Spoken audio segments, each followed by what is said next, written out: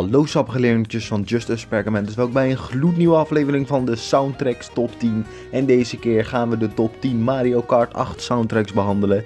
Hebben jullie er ook zoveel zin in als ik? Ik hoop het wel, want dit gaat een hele leuke video worden. Mochten jullie het nou niet met me eens zijn met de top 10, laat je eigen top 10 dan even achter in de reacties. Ik ben namelijk heel erg benieuwd wat jullie de top 10 soundtracks van Mario Kart 8 vinden. Laten we maar snel beginnen. Op nummer 10 staat Sweet Sweet Canyon. Het is zo.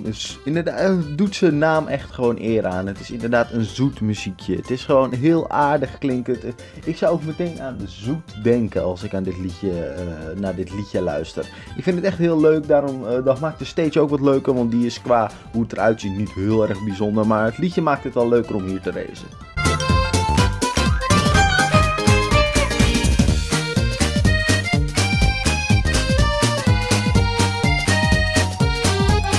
Nummer 9 staat Dragon Driftway. Deze stage moet me namelijk altijd denken aan de, de Pelago Peak van uh, Mario Party 7. En ik vind dit echt gewoon, net als dat liedje wat er in Mario Party 7 zit, een heel erg Chinees-Japans gevoel geven. En dat vind ik gewoon heel fijn. Ik vind het gewoon ook een hele leuke stage om op te racen, omdat het er gewoon heel vet uitziet. Maar de muziek die helpt daar ook wel heel erg bij.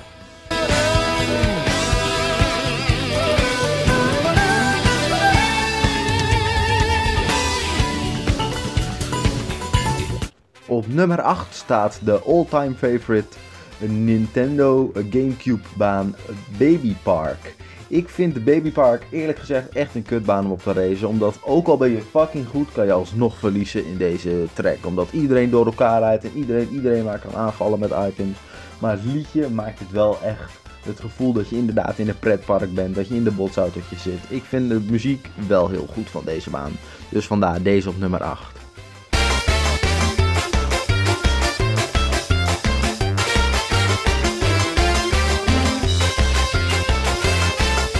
Op nummer 7 staat Rainbow Road. Ik moet eerlijk zeggen dat ik de Rainbow Road tunes van uh, de Gamecube, van de Nintendo 64, vind ik allemaal wel beter. Maar ik vind dit ook wel een leuk liedje voor Mario Kart 8. Best uh, leuk liedje voor een Rainbow Road. Dus vandaar dat deze wel een plek op de nummer 7 verdient.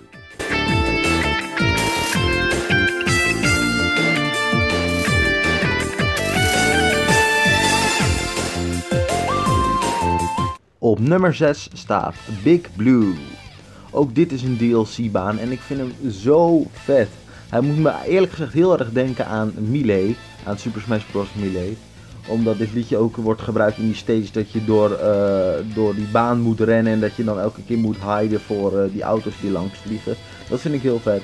Dus vandaar dat ik dit liedje op nummer 6 heb gekozen.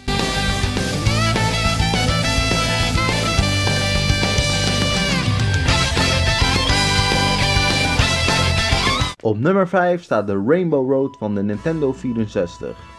Dit uh, liedje voelt me echt, uh, geeft me altijd echt het gevoel van dit is het einde van de game. Nu is dat bij uh, Mario Kart 8 niet zo, alleen bij Nintendo 64 natuurlijk wel. En dat vind ik zo fijn altijd in die Rainbow Road liedjes, dat het echt is, dit is het einde van het spel. het is klaar, ik vind het zo vet. Vandaar deze op nummer 5.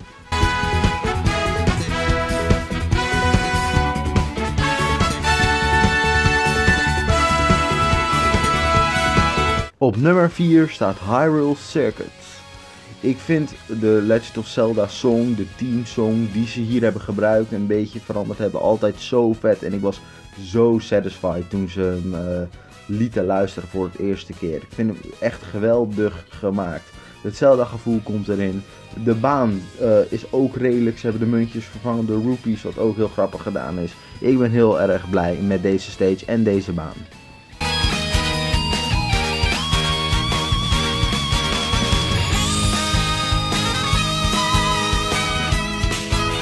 Op nummer 3 staat New City. Hetzelfde een beetje als Big Blue. Ik vind uh, dat dit liedje mij altijd aan Super Smash Bros. Melee moet denken, omdat hij daar ook in zit. Maar ik vind het zo vet dat ze daar gewoon een stage van in Mario Kart 8 hebben gemaakt. En gewoon dit liedje hebben gebruikt. Ik ben er heel erg tevreden over. Ze hebben er echt goed over nagedacht. Vandaar deze op nummer 3.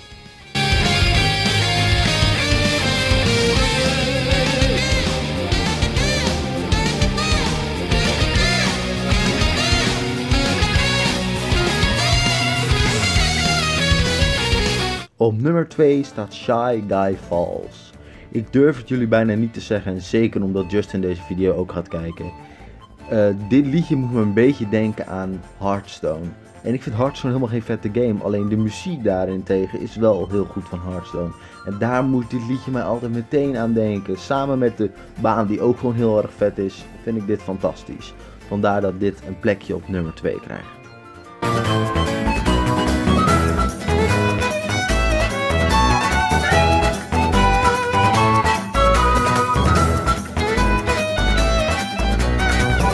En op nummer 1 staat Sherbetland van de Gamecube. Ik vind de geremasterde versie van dit liedje echt heel vet. Dat hebben ze echt heel erg goed gedaan. De baan daarentegen is wel iets minder geworden doordat je nu onder water kan. Uh, wat de baan gewoon veel minder leuk maakt naar mijn mening. Maar het muziekje is wel gewoon in goede manier goed veranderd. Dus ik ben heel erg blij met deze song. Dit is echt mijn nummer 1. Ik laat jullie hem nog even afluisteren.